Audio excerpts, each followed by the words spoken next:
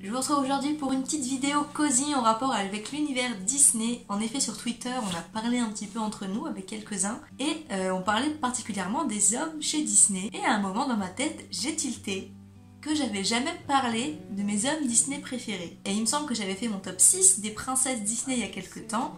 Et là, je me suis dit que je voulais faire un petit top 10 de mes hommes Disney préférés.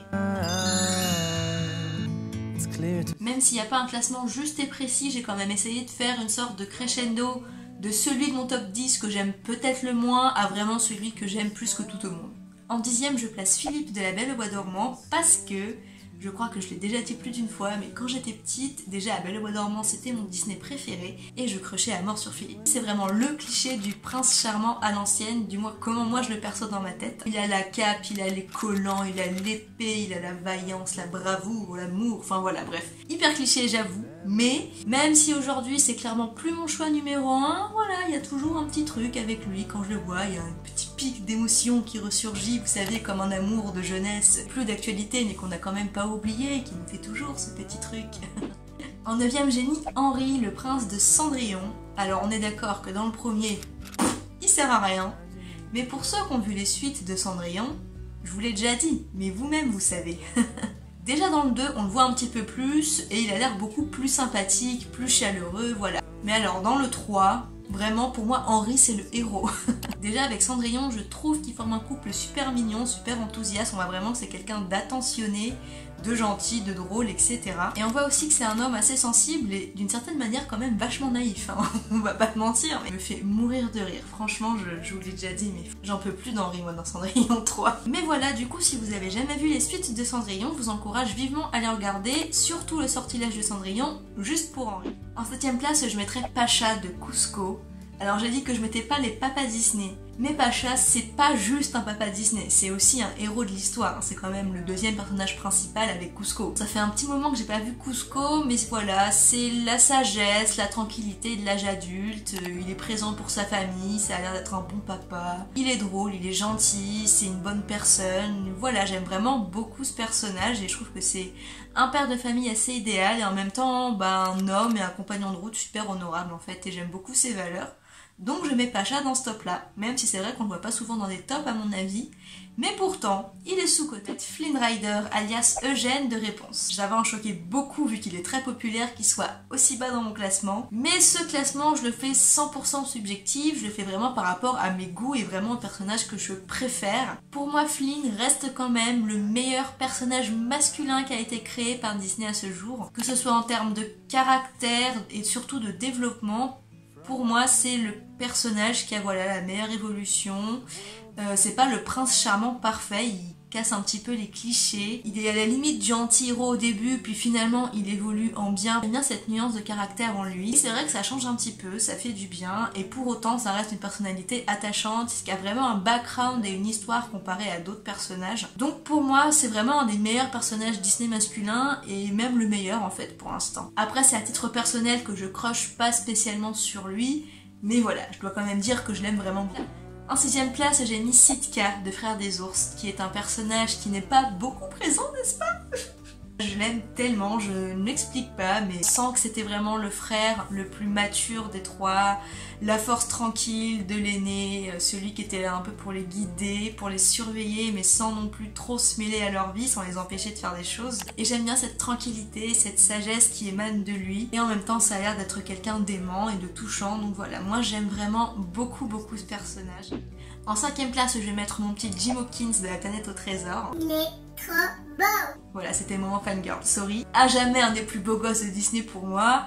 Mais voilà, je fais pas ce classement que en me basant sur les physiques. Hein. Du coup, j'ai mis au milieu parce que j'avoue qu'en termes de caractère, même s'il a un petit peu une évolution en fait comme Flynn, et c'est ça qui est aussi appréciable chez lui, au début, c'est vraiment l'ado typique, un peu paumé, qui fait un peu des conneries parce qu'il sait pas quoi faire d'autre de sa vie. On découvre un petit peu les blessures de son passé avec l'histoire de son père, etc. Et va arriver ce fameux moment où il va enfin pouvoir partir vivre une aventure de son côté, par lui-même une aventure qui va lui permettre d'exister, de se sentir exister, de se trouver. En fait, son histoire, c'est vraiment un parcours initiatique personnel. C'est La Valette au Trésor, c'est une histoire sur le fait de grandir. Et autant Jim peut être un petit peu agaçant au début, mais à la fin, je l'adore vraiment. C'est un personnage qui m'a toujours beaucoup touché dans ses, dans ses faiblesses, on va dire. Toujours trouvé touchant parce que j'arrivais un peu à comprendre ce qu'il ressentait et pourquoi il était comme ça. Du coup, ça me l'a rendu sympathique. Et puis, son évolution est vraiment superbe. Et franchement, à la fin du film, je crush totalement. Là, c'est bon. Sans parler de sa chanson en anglais, I'm Qui pour moi, mais d'une puissance, la signification de cette chanson est magnifique et ça ajoute vraiment au personnage et à ce qu'il ressent. Et moi, c'est une chanson qui me parle vraiment, mais vraiment très profondément. C'est ma chanson Disney préférée en VO. Et voilà, La planète au trésor, ça a une place particulière dans mon cœur comme film, mais particulièrement le personnage de Jim. En quatrième, je vais mettre le prince Eric de la petite sirène.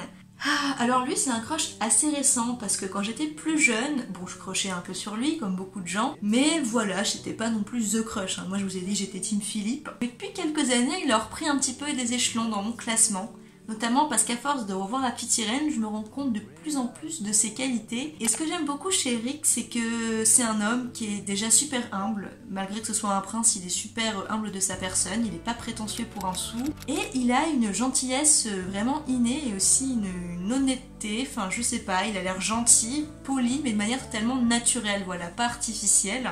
Et c'est un petit peu comme Henri au final de, la Belle dormant, j'allais dire, de, de Cendrillon, avec un côté peut-être un petit peu plus réservé pour Eric, un peu plus timide, mais c'est ce qui le rend aussi mignon finalement. Pour moi, c'est vraiment le prince Disney gentil et humble par excellence et ça fait que j'aime beaucoup, voilà, il fait aussi preuve beaucoup de douceur et de patience envers Ariel. Et ouais, franchement, voilà, je le trouve très touchant. On arrive dans mon top 3 et en troisième place, j'ai mis Hercule. J'ai beaucoup hésité avec Eric parce que pour moi, euh, en fait, je préfère Eric à titre personnel, mais Hercule me touche tellement dans son couple avec Megara et dans son comportement envers elle que ça fait que j'ai énormément de tendresse pour ce personnage. C'est un personnage que j'ai toujours trouvé touchant parce qu'au début de son histoire, bah voilà, c'est l'adolescent qui est un peu mis à l'écart parce qu'il est différent des autres, un petit peu maladroit, il cherche sa place dans le monde, il voudrait euh, pouvoir trouver ce monde qui est le sien et j'ai toujours trouvé ça très touchant chez lui. J'ai toujours été un peu moins fan de son évolution on va dire parce que tout ce côté entraînement pour devenir euh, physiquement euh, super balèze et machin, enfin c'est toujours des trucs qui m'ont laissé mais tellement hermétique en fait qu'Hercule soit tout maigre ou super musclé ça n'a aucune importance pour moi. Après c'est une évolution qui lui permet de trouver sa place donc tant mieux pour lui. Hein. Mais moi ce que j'aime vraiment c'est à partir du moment où il tombe amoureux de Megara et qu'on se rend compte qu'Hercule c'est un homme mais juste tellement adorable. C'est quelqu'un terriblement gentil et sincère. Et il prend les gens comme ils sont en fait. Il voit bien que Megara, elle a eu des problèmes dans son passé. Elle n'est pas non plus super accessible au premier abord. Mais voilà, Hercule, il aime Megara. Et il s'en tient à ce qu'elle est. Il attend pas quelque chose d'elle spécialement. Et ça l'empêche pas d'être aussi le plus honnête possible envers ses sentiments. Et il a ce côté aussi très naïf que je trouve super mignon personnellement. Je sais plus c'est quelle scène qui me touche particulièrement. En fait, il y en a deux. Il y a la scène après leur premier rendez-vous où euh, qui lui dit qu'il a passé un super moment avec elle et qu'il a hâte de recommencer, qu'il lui offre la petite fleur, voilà, et qu'il lui fait un petit bisou sur la joue avant de partir. Je trouve ça mais tellement chou. Et enfin évidemment la scène finale, il est devenu un dieu, il va pouvoir rejoindre l'Olympe avec ses parents, etc.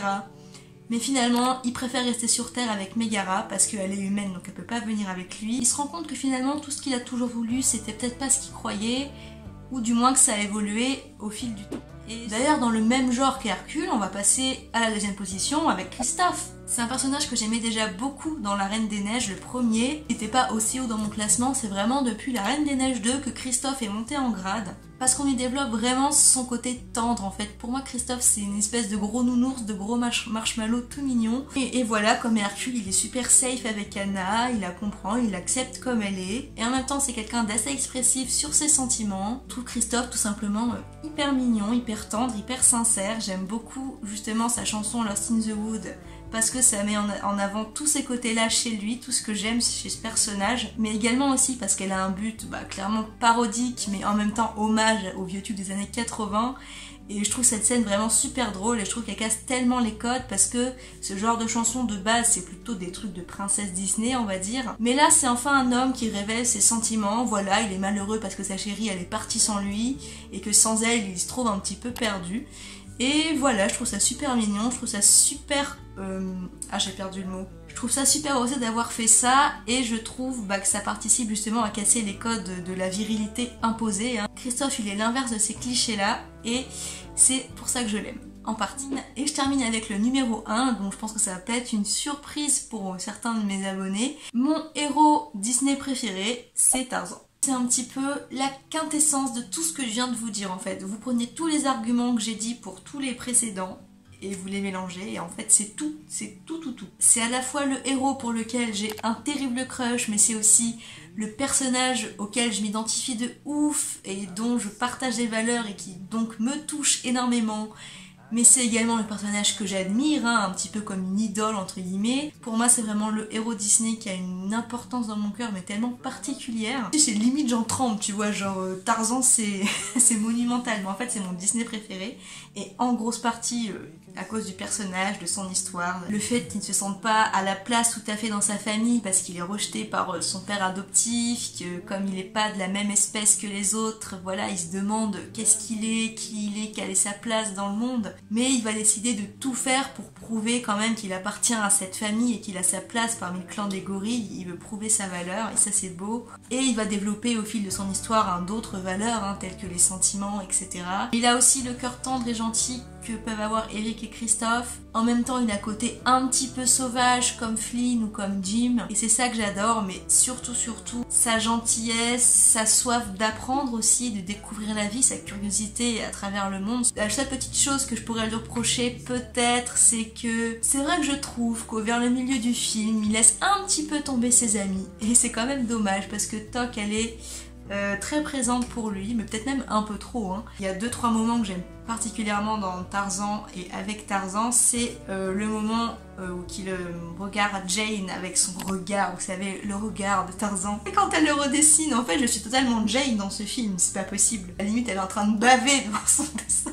Suis pareil qu'elle en fait à ce moment-là. Et du coup, la deuxième scène que j'adore, c'est vers la fin quand il se bat avec Clayton et qu'il le menace du coup je crois avec le je sais plus si c'est son poignard ou son fusil que Clayton regarde Tarzan dans les yeux en lui disant allez vas-y tue-moi sois un homme et là Tarzan, il le regarde et lui dit Pas un homme comme toi Non mais j'aime trop ce passage, je le trouve d'une puissance infinie. Je suis amoureuse pas que de Tarzan en fait, je suis amoureuse du film Tarzan tout simplement. Sur ce, bah, j'en ai terminé avec cette vidéo, hein. j'espère qu'elle vous a plu, qu'elle vous a diverti. N'hésitez pas à me dire si on a des personnages en commun dans ce petit top 10 et si c'est pour les mêmes raisons. Parce qu'on peut aimer des personnages pour des raisons différentes. Hein. Moi je me rappelle d'une pote qui m'avait dit qu'elle adorait Eric pour euh, son côté euh, hyper viril, masculin, hyper protecteur. Et moi, ça, j'ai bugué à ce moment-là, parce que je me suis dit, waouh, c'est marrant, mais c'est pas du tout l'image que j'ai de ce personnage en fait.